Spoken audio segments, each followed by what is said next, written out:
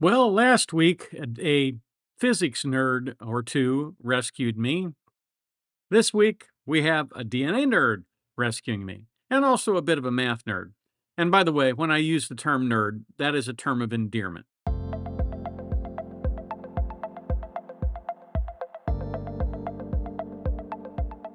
Hi, Tony DeWitt here. I'm a Missouri appellate attorney, retired, and I bring you a fresh perspective on the law without offering any legal advice.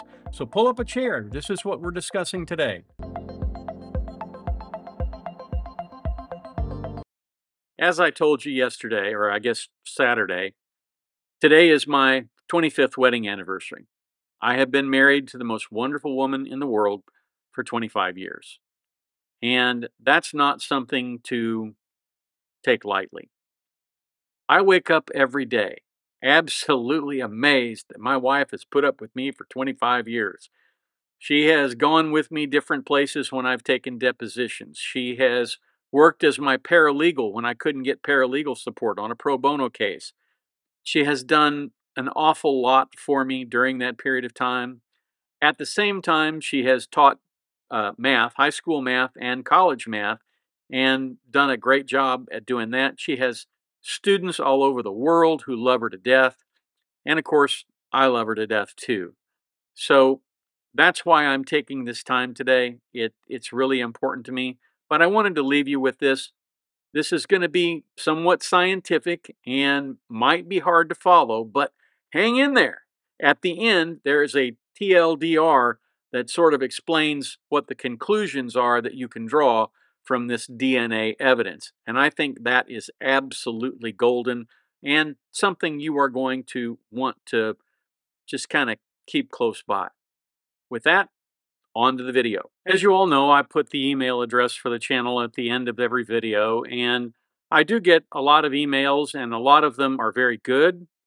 Every now and again, somebody gets a little spicy with their commentary, but those go into a special file all their own. When I do get really good emails, I like to share the content that comes in because a lot of people don't have YouTube channels and don't uh, would get nervous maybe trying to explain this, but they can write it out and explain it pretty well. And that's what we have today. We have somebody who is explaining something really, really very well in the context of reasonable doubt. And this is an interesting one because it, it deals with the mitochondrial DNA that came from the little hair that could. So, without further ado, let me jump into this email. And I'm not going to identify the person who sent it because that's rude. If that person wants to identify themselves, they can certainly do that. But uh, right now, I, I'm going to keep it just just between us. So here's how the email starts off. The apparent here got a pleasantly severe beatdown from the defense on several points that the jury ought to be able to easily understand, so perhaps my blathering on about it doesn't apply here because we already saw a keeping it simple stupid shredding of the method of collection and chain of custody. I happen to know quite a bit about mitochondrial DNA, genetic, genetic genealogy is my nerd hobby, and the testimony left out details that may have benefited the prosecution. Their failure to mention them causes me to think that it was purposeful because the details wouldn't help you could roll all of those into one reason for reasonable doubt, the RD numbers that I talked about earlier, and call it failure to request adequate comparison testing testimony by the outside lab. Said this time and time again that in addition to what the prosecution presents, it's also important to look at what they don't present. Not only is the evidence they gather important, the evidence they ignore is probably even more important. The witnesses they don't interview, that sort of thing. So that's essentially what our emailer here is getting to in her comment, in that she's saying, look, the thing of it is, they didn't do a very good explanation on this DNA. So let's look at this a little bit further. So this is her reason 75. The expert witness never revealed the haplogroup of Peggy O'Keefe's mitochondrial DNA. Google states that O is the most common, and it's also almost exclusively Chinese. Almost half of native Western Europeans are some form of haplogroup H. If Peggy O'Keefe's mitochondrial DNA was haplogroup O, you can bet the Commonwealth would have beaten that factoid into the juror's head with the suspects that we didn't test. To heck with the suspects we didn't test. Boston's known to be heavily Irish, and we are looking at McCabe's, Albert's, etc. My presumption is that JO's mitochondrial DNA is common to Europe and Boston cops. In other words, they're not they're playing statistical games here with the mitochondrial DNA. RD number 76, missing statistics from the mitochondrial DNA expert. The Commonwealth's mitochondrial DNA expert didn't testify as to the percentage of the population excluded from being consistent with the mitochondrial DNA contained in the apparent hair. There is a number, and that number has a notable range of possibilities. On the one end, it could all but eliminate reasonable doubt. On the other end, it could expand the eligible pool of contributors to a number that makes any testimony about that hair irrelevant. Why bring a witness who isn't bringing a money quote? There might be a corollary to number 75, but even with Western European haplogroups, some are more rare than others. So we're going to her number 77. Andre Porto's glitch on the stand. The mass crime lab expert mentioned he tested the root end, not the shaft end of the apparent hair. He said that the lab was unable to extract any human DNA from the root end. Then he literally glitched on the stand, like his notes said something that he'd been told not to say. The part is suspicious all by itself, but it might not be good enough to be a, a reasonable doubt on its own. The, that part I picked up on immediately, but the rest of what I watched isn't quite fair to expect the jury to pick up on because it's based on what I noticed while rewatching this testimony and researching the other lab, the one that did the mitochondrial DNA testing. The Commonwealth asked if the Mass lab had sent an extraction to the other, better lab. The fumbling from the witness and the CW raised my suspicions based on what I know now and the defense could find out if this case ends up retried for a third time. So we go to the number 77. The rest of the story the defense could use if I'm right that number 71 was a clunky way to obfuscate information. I researched Bode Technologies. Their website boasts about their process to extract autosomal Y-DNA STR data from the hair shaft. They are claiming they can get this DNA from a hair shaft. The Mass Lab stated they had a root end which is usually enough to get some autosomal Y-DNA STR data from, but they couldn't. So they sent it to the lab that claims a 75% extraction rate when they don't even have a root. Just watching it again, now it's even more suspect that, than when I first looked up Bode. Based on what I saw, but more so on what I didn't see, now that I know what I know, Bode said they got a shaft, not a root. Mass said they had a root. Why didn't CW send them the root? The Bode uh, mitochondrial DNA person testified with way too many details regarding the process used to get the mitochondrial DNA, so many that it seemed to resemble their patented extraction process to get nuclear DNA and STRs from a shaft. He didn't do the extraction process, but he didn't do the extraction process. He did a regular extraction process. It ought to be the same process the Mass Lab did to extract JO's DNA from the known blood sample. Too many details coming from the witness after the witness that might have used the same process on the, twi- on the taillight DNA tests had they been thorough, or even if, if they even did those tests. So many details that it raised two more reasonable doubts in my mind, even if all this other confusion resulted from lawyers trying to play with science.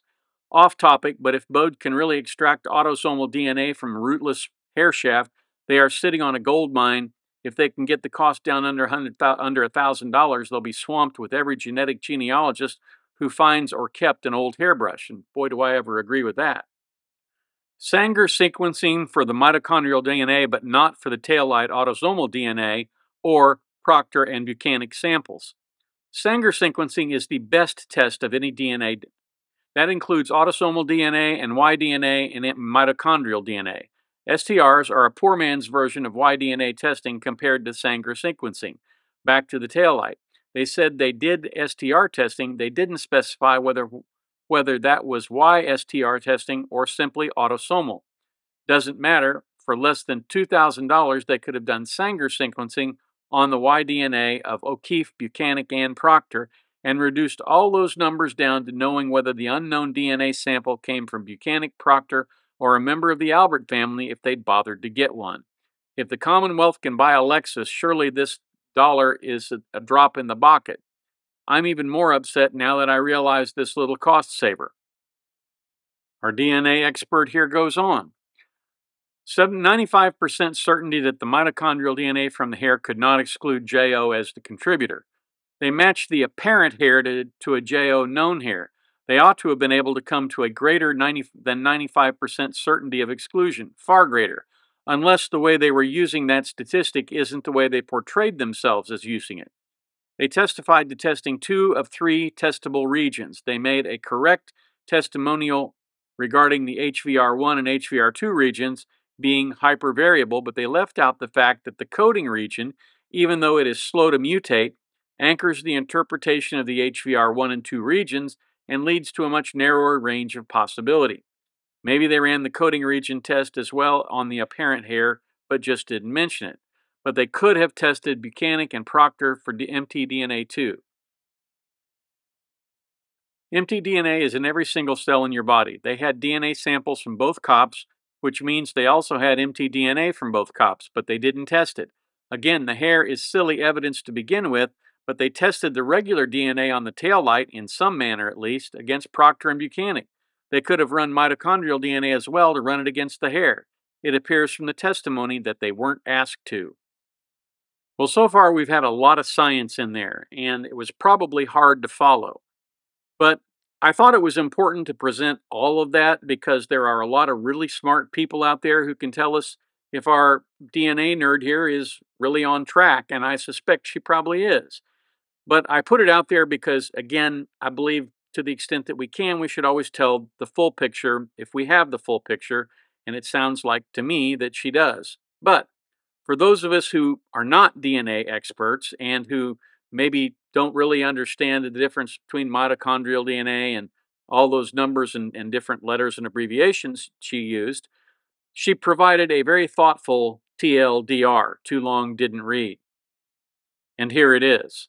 They skipped a lot of DNA tests that could have made their case much stronger. Sorry for the novel. This is one thing I know a little about. I wouldn't bring any of this up if I, if a juror, if I were a juror, unless the other jurors made it a CW proof thing. Here's a brief note on mtDNA, and it talks about genetic testing and all that. TLDR, here's the money quote Exact matches with full mitochondrial DNA sequence are not uncommon. 95% confidence level that the MRCA, most recent common ancestor, is within 22 generations. Call it 550 to 650 years. That's before Plymouth Rock. So when they're matching it to a 95% confidence level, which sounds like really close, it's actually a common ancestor for the last 550 to 650 years. And then she pokes just a little bit of fun at me. She says, Your wife was a math teacher, so so was I. K9, K, in other words, K kindergarten through ninth grade. She will likely be able to absorb the info from that paper much more quickly, efficiently, comprehensively than I did. Let your wife explain it to you. That's the only reason I added it. You have absolutely no idea how long I've wanted to say that to a man about math and statistics. Thank you for that. Well, you are absolutely welcome. Isn't it nice to see that people combine and, and give their time and talents and, and try to clarify things for us and, and just do really, really nice things? You know, one of the things I always put at the end of this thing is, is that we should try to do one kind act today. This is a kind act, and it's not to be undervalued. I think very much that if everybody contributed what they all know, and I mean, you guys have been great in helping me because I didn't didn't do anything on that first trial. This has been really, really helpful, and I, I greatly appreciate it. If you have comments about the DNA, drop them in the comments down below. That's what I have for you today. I hope you found it helpful, interesting, or maybe both. If there's a subject you'd like me to discuss, please feel free to send me an email at the address above. If you like what we do, please feel free to subscribe and come on back to the beach tomorrow. I release videos every weekday, weather and work permitting. If you have the opportunity today, do a kindness for your fellow man. It makes the world a better place one kind act at a time. And now, YouTube has some suggestions for other videos of mine that you might like.